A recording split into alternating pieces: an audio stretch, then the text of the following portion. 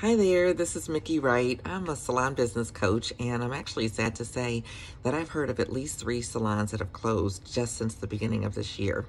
And I definitely don't want you to be one of them. So I'm excited that I'll be teaching at the Beauty Experience, um, which is formerly known as the International Beauty Show. It's a class called Be Your Own Boss.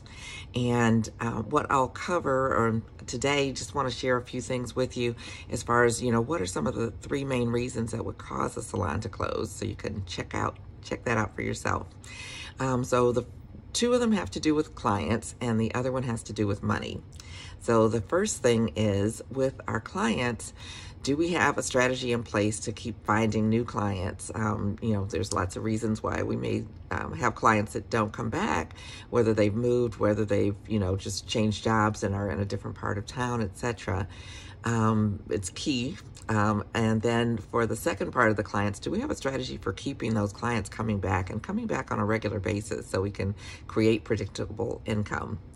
And the third thing is has to do with our money. It's like many of us have no idea what our key numbers are, um, where the money that's coming in is coming from, so we can expand on that, where the money has uh, gone as far as, you know, what expenses do we have, and in general, just wondering like, where's our money, honey?